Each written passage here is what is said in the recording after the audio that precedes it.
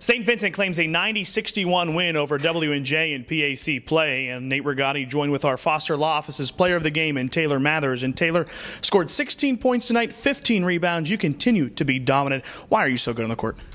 I just go out there and have fun and do what I can. I mean, I really love the game, so I practice hard and I come to make a, you know, good impression. You really battled with Val Dunlap tonight of W&J. She's tough too underneath, but you came out ahead. Talk about the battle with her.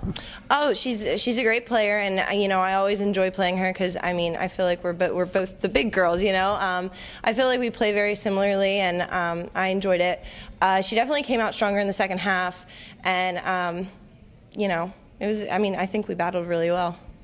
You as a team average over 80 points a game. You put up 16, but there were four players that had double digits. Talk about what your teammates do to contribute to this ball squad.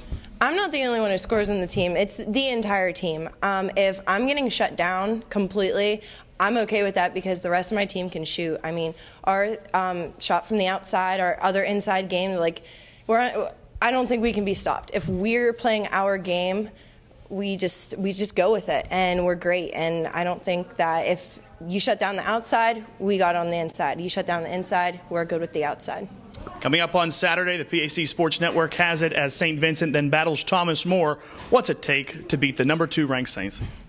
Um, we're going to come out on top, play our game. Um, we're going to give it our all, keep fighting. We're not going to give up, and uh, we're going to prepare a lot for it.